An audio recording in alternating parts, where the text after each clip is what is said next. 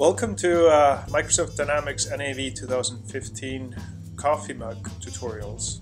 I'm Johannes Gudmundsson, founder of iNECTA, a Microsoft Gold certified partner. In this easy to follow instructional video series, I'll show you how to use Microsoft Dynamics NAV by using a one simple item as an example, in this case a coffee mug.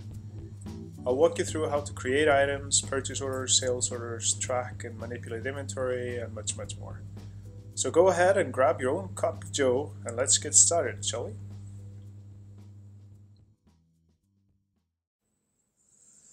Hello and uh, welcome to the Coffee Mug video series. Uh, we have created an item and put that on a purchase order and on a sales order.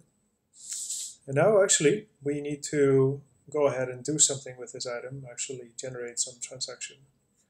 Um, this is the coffee mug uh, that we have generated. And right now, if I take a look at the entries, I have no entries for this coffee mug. So there's, there's no history on this particular item. I have, however, generated a purchase order and a sales order. And the point of this quick mini video is to actually post the purchase order and the sales order and see what happens uh, in the history. So if I go ahead and uh, search for my purchase order, go into the purchase orders,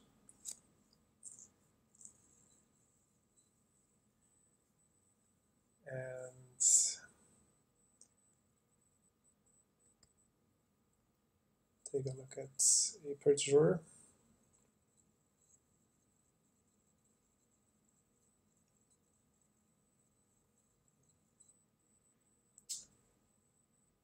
Yeah, so right now I need to actually find the order for the coffee mug. Uh, I have a bunch of them. If they were all in one sequence, it'd be easy to find. Uh, but in the demo system, they're all in different sequences, so I'm not really sure where it was. A quick way to find it would be to actually just go to the items and go into the mug itself.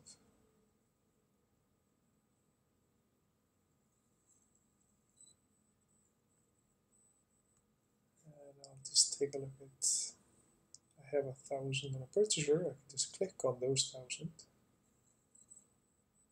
and then I can show document. And here it is. So uh, this is a quick way of finding the actual purchase order that it's on. And now uh, I'll just put in a number for the vendor invoice. This is the invoice that the uh, vendor gave to me, their number. I'll just make something up for my demo.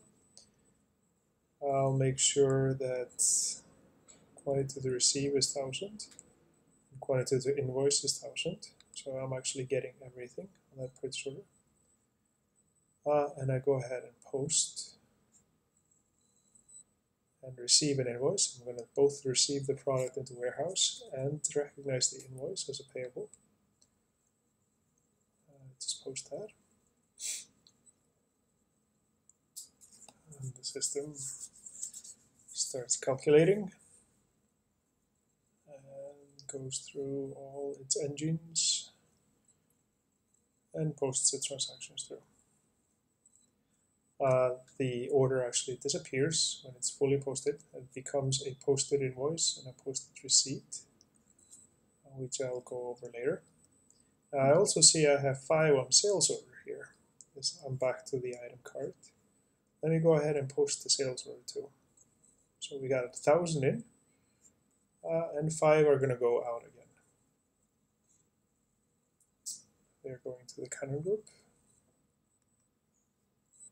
And I make sure that the quantity to ship and quantity to invoice is five. I go ahead and hit post, ship and invoice. And this order is processed in a similar way as the purchase order. And now that's done. Now if I go into the item card again, go into my entries, ledger entries, I can see there are two transactions. There is a purchase for a thousand for five thousand dollars, and then there's a sale for five, total seventy-five dollars.